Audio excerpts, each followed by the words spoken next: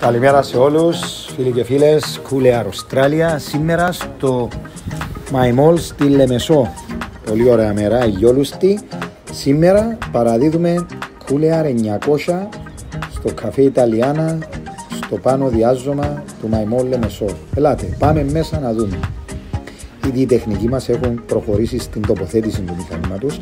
Cool Air 900 σήμερα φίλοι και φίλες. Ψηλό μηχάνημα, δεν φύσουμε στο πρόσωπο, τεράστια ψυχτική απόδοση. Μπαίνουμε μέσα, βλέπετε. Έχουμε τοποθετήσει ήδη το μηχάνημα μας, ήδη το έχει ξεκινήσει ο τεχνικός μας. Αν και μεγάλο, δεν κάνει πολύ θόρυβο. Έλα, κάθισε Ευγένη εδώ. Βλέπεις, βλέπετε, κάθισε ήδη ο Ευγένης, δεν του φυσάει πάνω στο πρόσωπο. Ούτε κινούνται οι τρίχες πάνω στα μαλλιά του. Δηλαδή και δίπλα να κάθεσαι από το μηχάνημα δεν σε ενοχλεί.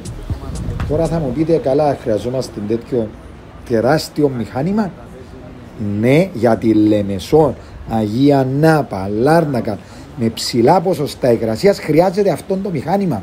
Αυτή τη δουλειά την κάνουμε πάνω από 20 χρόνια. Δεν κάνουμε πειράματα πλέον. Ένα μηχάνημα να μας κάνει τη δουλειά μας. Ψηλά ποσοστά υγρασίας. Θέλουμε δυνατό μηχάνημα για τη Λεμεσό. Ορίστε, εγγυημένο αποτέλεσμα. política